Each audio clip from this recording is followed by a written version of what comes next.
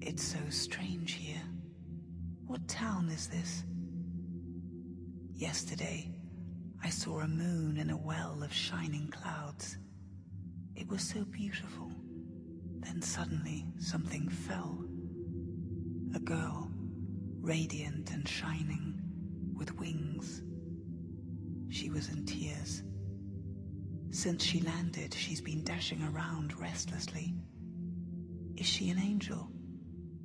I call her Godsend. I can't tell what was a dream and what was real. But you'll tell me everything, right? No, I have no answers. I thought that Ole might have been the cause of the Battle girl, but I suppose it could still be the case, although she clearly doesn't know it. She does know some questions, though. If she's been staring outside her window for so long, then how does she know enough to ask me such questions? She heard of me. I was probably promised to her. She must have expected wonderful things. After asking all she could and learning nothing, I must be such a letdown.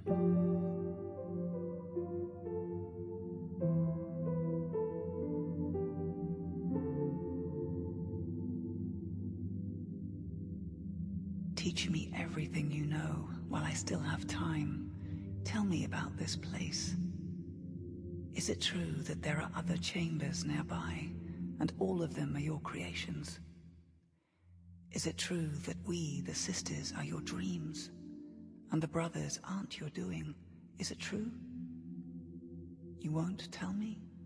You can't? What a pity. Now it feels like she's mocking our ignorance. I don't know whether it's intentional or not.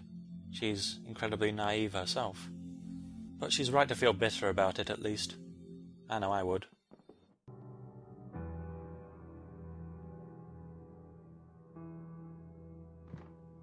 At least now she's looking in our direction, although with the same sleepy eyes that she used to gaze outside. She still looks so expectant, like a lost child. It's hard to drag myself away. I actually hope this is all a ploy. It would alleviate the guilt. Still looking. Anyway, here's the final room of the house.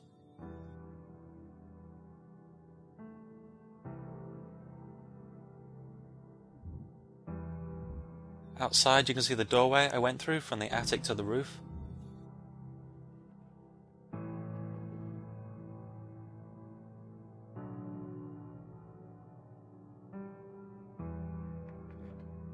Not much else to see. Ole has a cradle in her room, as if she's been there since birth, although she never ages. Only the most basic sign that she's lived a life at all. Unlike Yanni, who had a life in a broken home, I'm not sure which is worse.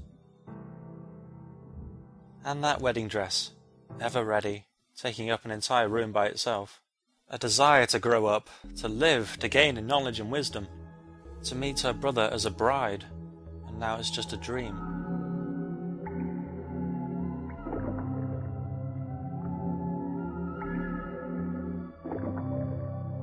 People who play this game themselves, first, second, third time players, all come to quite significant confusion at this point. I'm sure you can emphasize with them. Everyone in the game, the game itself, has been pushing you towards Ole since the very beginning. Her icon flashes on the map screen. Regardless of your expectations, you must think that it's going to provide some answers. But it doesn't. And it makes you feel disorientated, exploited, filled with so many questions you feel like you're about to burst. It almost feels like a complete lack of progress. The biggest, loneliest dead end that you can wander into, that you're expected to walk back out of, in search of yet more shrouded truths and misdirection. But lucky for you, you've got me at the helm, so I'm going to pick ourselves back up and keep on going. The only sisters I got left to feed are Yanni, Echo, and the other travelling sister, if Echo didn't make her up. This mine should give me all I need to feed up Yanni, and then I can get the others on my way to building up enough stock to start the battles. Young one, do you think you can create by throwing Nerva into the world? It's an illusion. True creation is beyond us, young one. You're like a foolish child who wasted his father's precious paints on pathetic doodles. Who on earth was that? It was a female voice, but old and raspy. A sister? A, a, an old sister? We know they used to exist.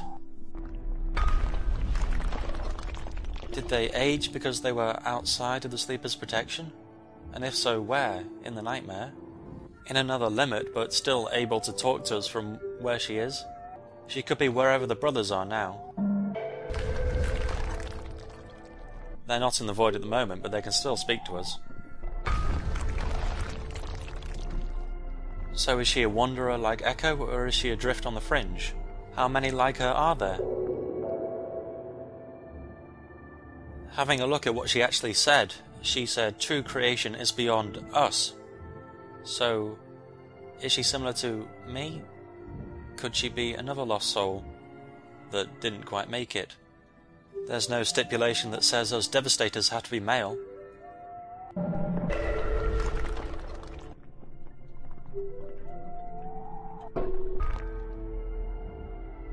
Did she actually learn the truth, or is she just trying to drag us down with her, acting Mrs. Know-it-all to put us off?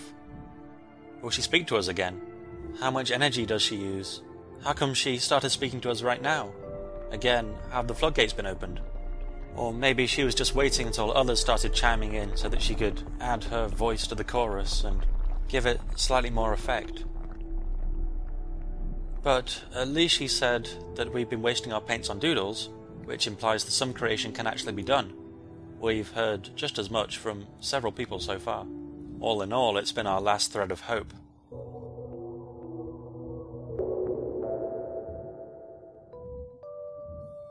So many questions, they're all starting to sound the same. Master Colour, when we entered Ole's chamber, said something, at least slightly more definite. He said that the chain of limits was infinite, so once we reach the surface, that's not the end of it. And just the same, the nightmare is not the bottom. Which begs the question what's the point of moving anywhere? Well, that's something that we apply to our lives on a daily basis. What's the point in succeeding at anything when it won't get us anywhere in the long run? Well, I'm not sure what to say without turning into an inspirational pamphlet. Maybe I'll just do that.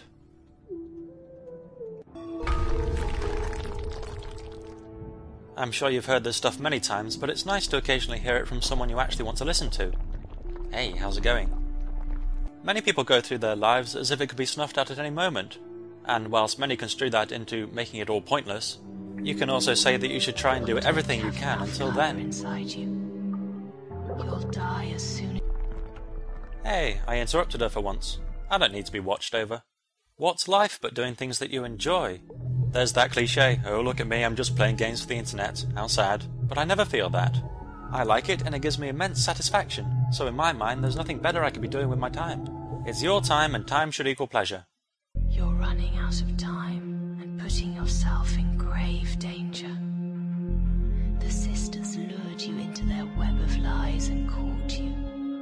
The brothers don't believe you and threaten you with death. You're flailing around and making mistakes in your panic for color. What else can I do? How else can I help you? What can I do but help you in any way I can?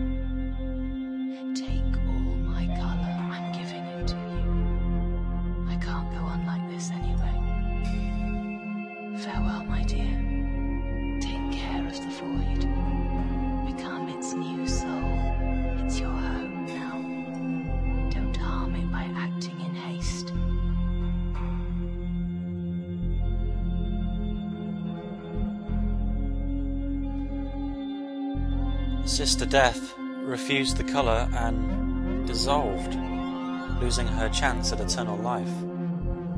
Why would she willingly give it away when it meant death within death? Every principle believed in the void has been torn down, not just because it was taboo, but because it was unknown of. The brothers are enraged and the sisters are terrified, not because self sacrifice is possible, but because it is a premonition that from now on, this will be the only way.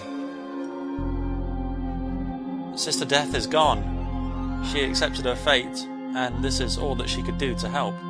Everything has been stirred up, and I have a suspicion that the repercussions are going to center around me.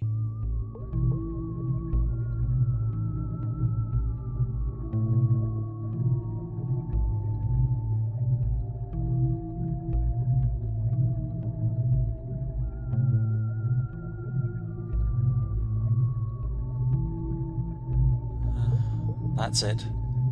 I'm done for now.